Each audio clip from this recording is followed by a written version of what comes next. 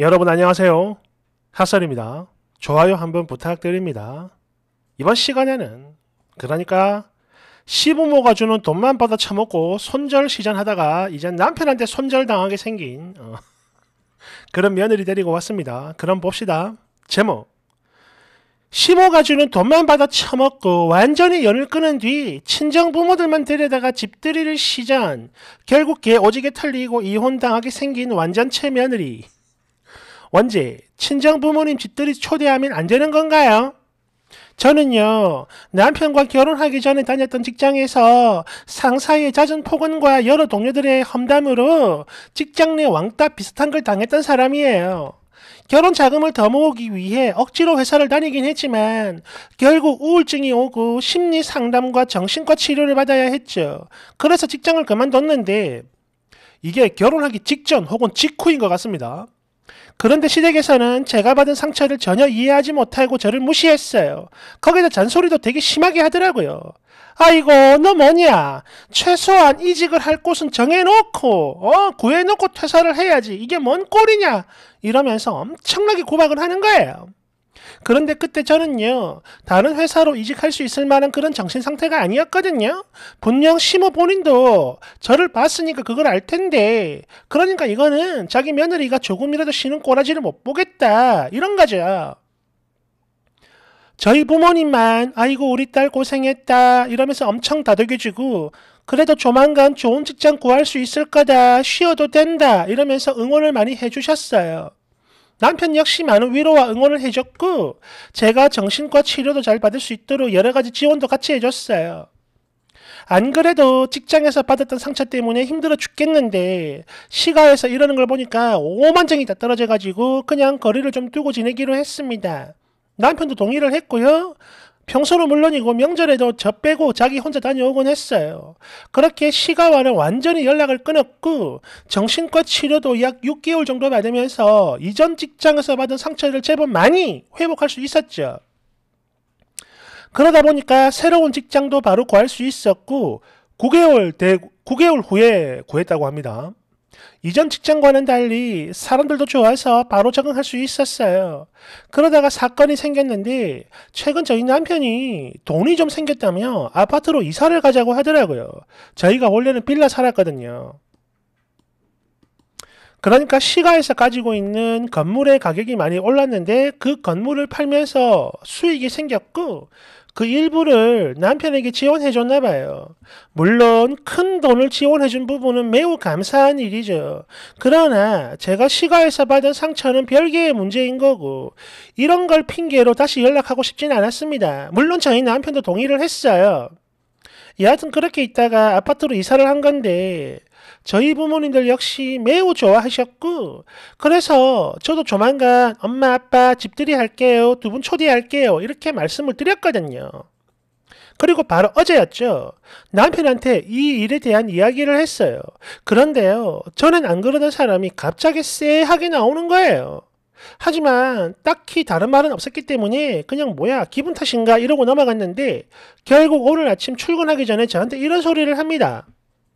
야, 솔직히 말해야 바른 말이지. 우리가 여기로 이사 온 거 이거 전부 다 우리 부모님 덕분 아니냐?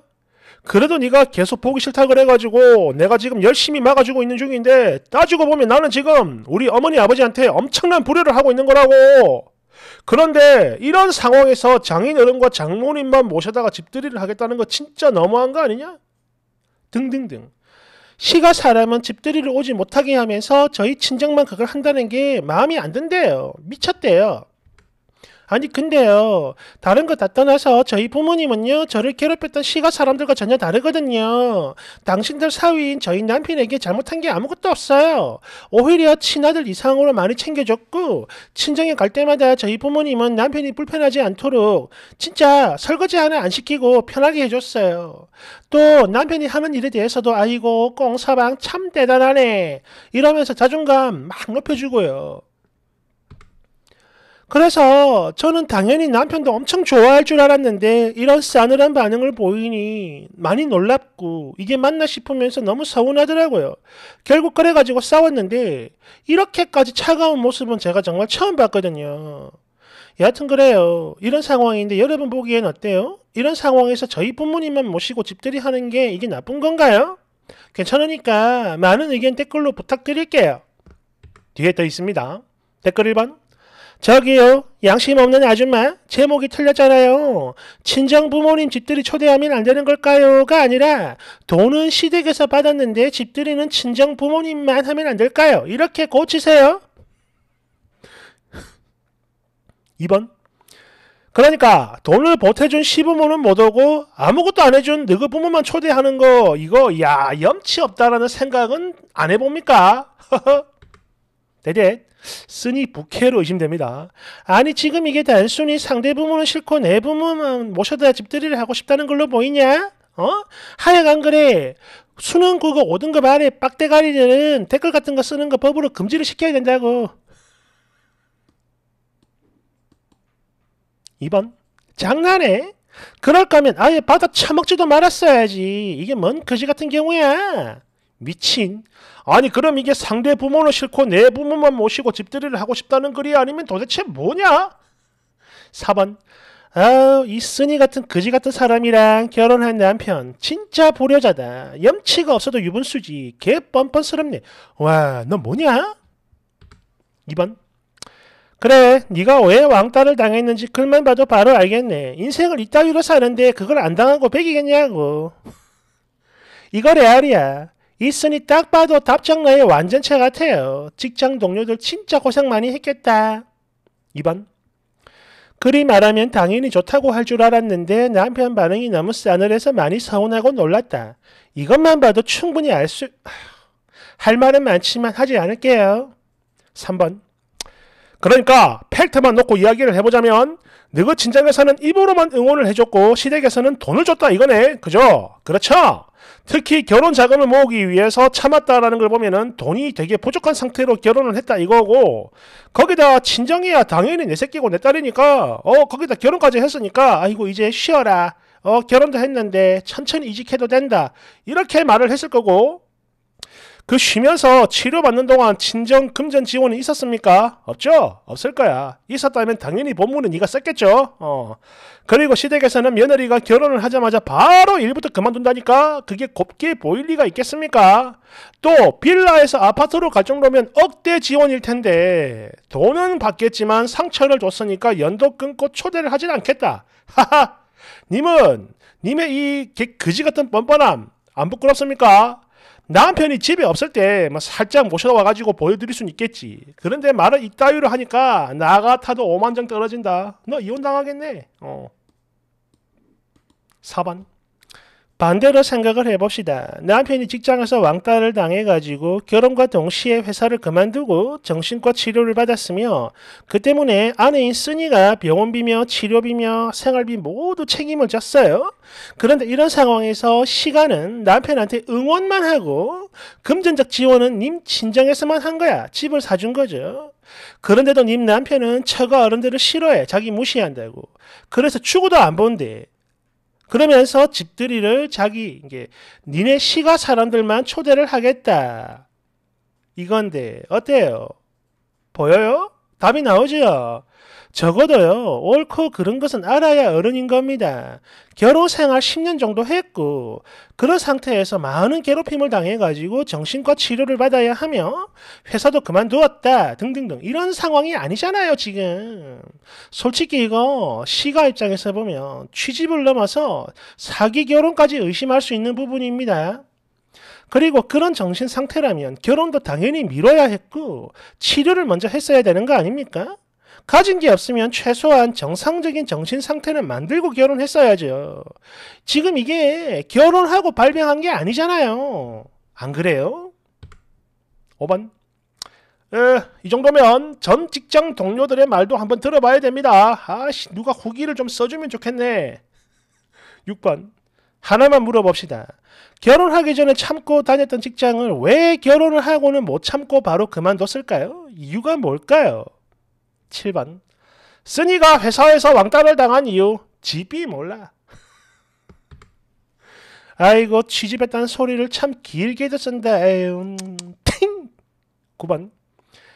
아니 지원을 받았으니까 다시 자기 부모님이랑 왕래를 하라는 것도 아니고 계속 잘 막아줬다며 남편이 그리고 말이야 바른 말이지 네 남편은 지금 너 하나 때문에 자기 부모님한테 불효를 하고 있는 거라고 어?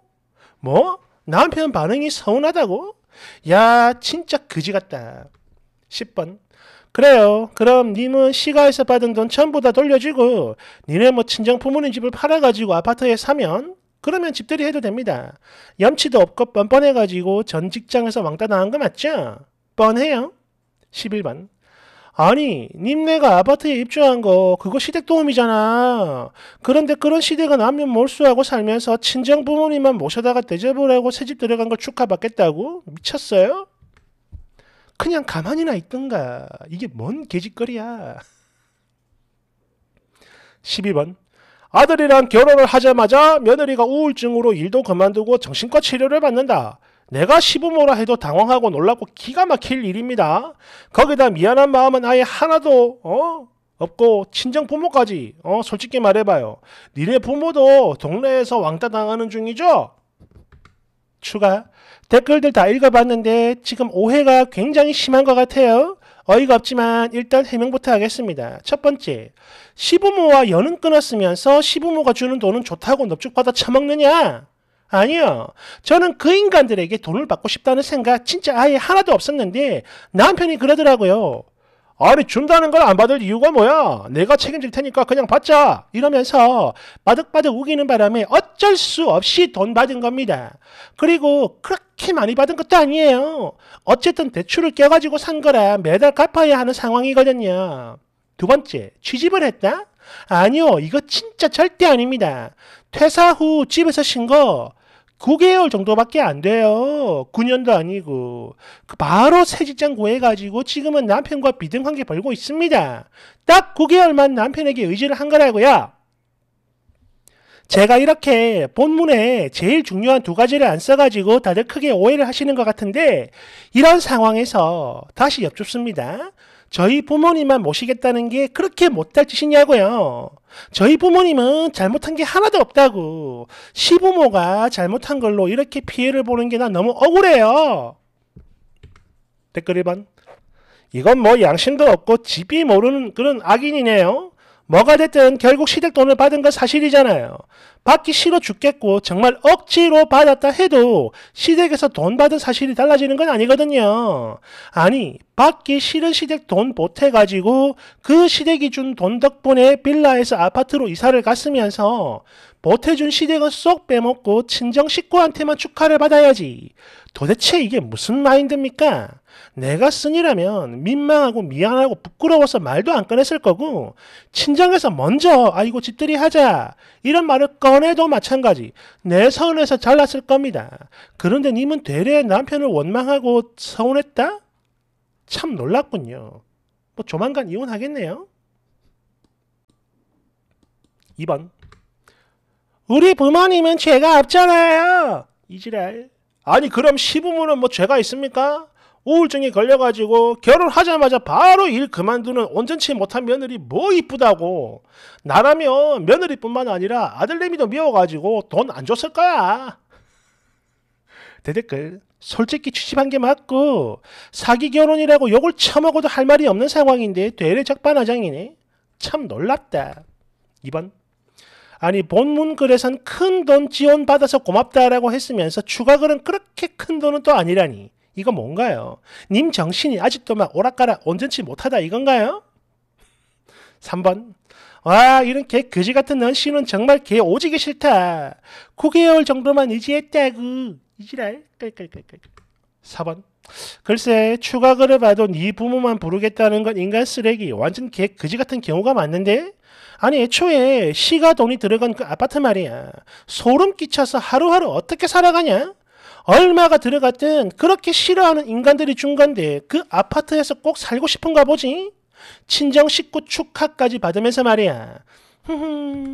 뭐 계획에 성공했으니까 파티라도 열겠다. 뭐 이런 건가? 깔깔깔. 5번. 추가 보니까 확실히 알겠구만. 이거는 왕따를 당한 게 아니고 인성이 개 그지 같아가지고 사람들이 피한 거예요. 6번. 아니 됐고요. 이 질문에 대답을 좀 하라니까요. 시부모 얼굴 보는 건 괴로운데 시부모 도움으로 옮긴 그 집에서 먹고 자고 사는 건 친정부모를 초대하고 싶을 만큼 오지게 신나느냐. 이거 말이야. 대답하라고. 7번. 네가 왜 왕따를 당했는지 굳이 설명할 필요는 없을 것 같아요. 8번. 시부모가 하는 말이 말이 너무 딱딱하고 아플 수는 있겠죠. 근데 틀린 말은 없다는 걸 아직도 모르겠어요? 님이 우울증에 걸린 거 이건 회사 동료들 탓이지 님 남편이나 시부모 탓이 아니잖아요. 치료를 하고 난 뒤에 결혼했으면 더 좋지 않았을까 싶습니다. 결혼하자마자 그런 큰 일을 겪은 시가나 남편에게 미안한 마음 정말 없는 거예요. 이 거지 같은 년아.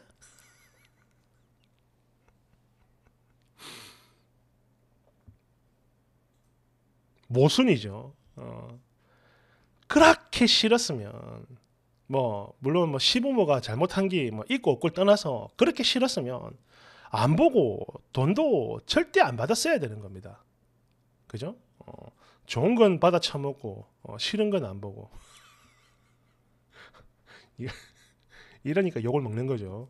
그리고 남편 반응이 얼음처럼 차가웠다는 걸 보니까 뭐 조만간 어, 그 시기한 후기가 올라오지 않을까 하는 음, 그런 기대를 해봅니다. 음. 좋아요 한번 눌러주세요. 감사합니다.